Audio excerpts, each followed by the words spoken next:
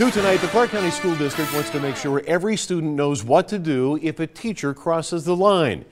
These education videos are being rolled out across the district, but tonight, many parents are wondering exactly what's being shown. 13 Action News reporter Annalise Ortiz walks us through what your child will be seeing.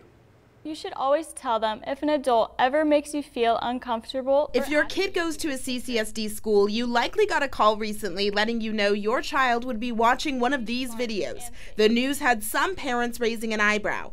Unbelievable stuff they're teaching them now. A little uncomfortable, so I would like to watch it first. The purpose of the videos to teach kids the do's and don'ts of communicating with teachers and other adults on campus. All students from kindergarten through fifth grade will watch this video. If a grown-up tells you to keep something just between you and them, you should actually always tell mom, dad, or someone else you trust. Students from 6th grade through 12th grade watch a more in-depth video which explains new policies the district rolled out this year when it comes to texting or chatting with employees online. Students should communicate with staff and volunteers between 5 in the morning and 10 at night. Also, students and CCSD employees or volunteers should not be texting each other one on one. The district provided parents with a link to the videos so they could watch them before the students did. Parents we talked to trust they'll be age appropriate and say it's never too soon to talk to your kids about this sensitive issue. It's so scary that many of these things happen anywhere you go,